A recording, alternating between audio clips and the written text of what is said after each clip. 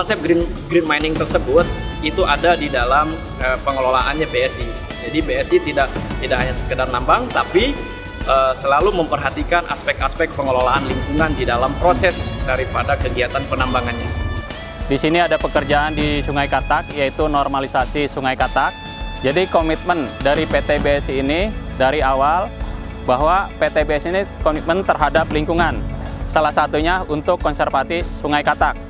Jadi perusahaan itu mereka sudah punya dokumen lingkungan AMDAL ya. Salah satu komponen AMDAL itu adalah komponen pengelolaan dan pemantauan lingkungan. Memang air di sini eh, secara kajian ilmiah masih dalam kondisi yang aman gitulah, gampangnya ngomong gitu.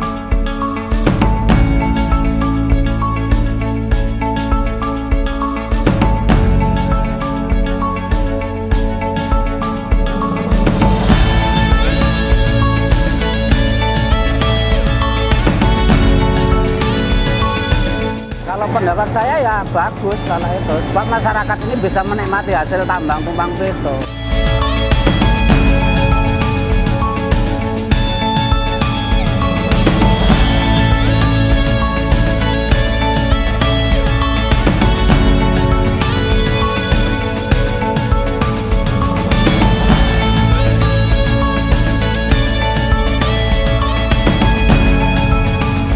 Terima kasih atas bantuannya. BSI mudah-mudahan Bapak dan Ibu guru serta anak-anak dapat lebih giat lagi dalam belajarnya.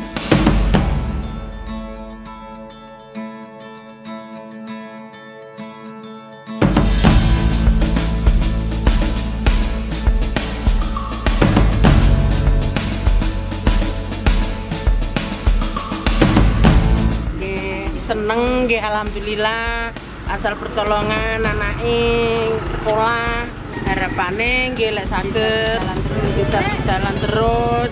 Ya lebih ringan pak. Meringankan bensin meringankan sang sekolah. Ya.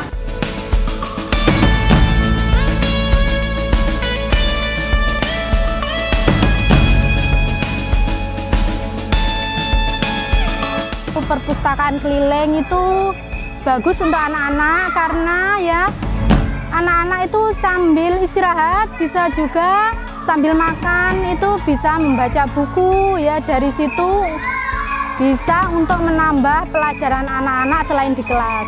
Anak-anak lebih berminat karena juga judul-judulnya lebih banyak dan lebih baik.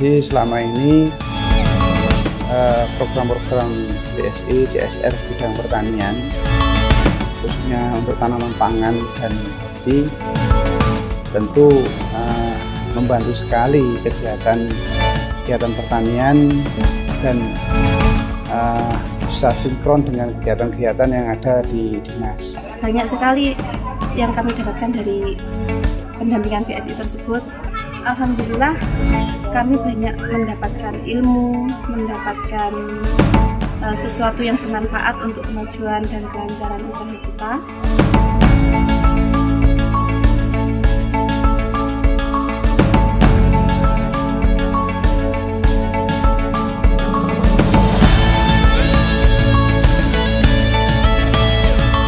Hari ini saya berkesempatan untuk mengunjungi PT Bumi Sukses Indo. Dan ini merupakan pengalaman yang sangat berharga bagi saya karena ini adalah kali pertama saya mengunjungi PT ini. Di sini saya belajar banyak sekali tentang dunia pertambangan yang sebelumnya belum pernah saya ketahui. Dan perlu teman-teman ketahui bahwa PT Bumi Sukses Indo tidak hanya berfokus pada konsumsi pertambangan yang ada di Banyuwangi, tapi juga fokus kepada salah satu program yaitu CSR, yaitu Corporate Social Responsibility. Jadi PT BSI juga membantu masyarakat Banyuwangi untuk tetap sejahtera dengan segala produktivitasnya dan juga ikut mengembangkan segala hal dan potensi yang dimiliki oleh Kabupaten Banyuwangi. BSI Sukses terus!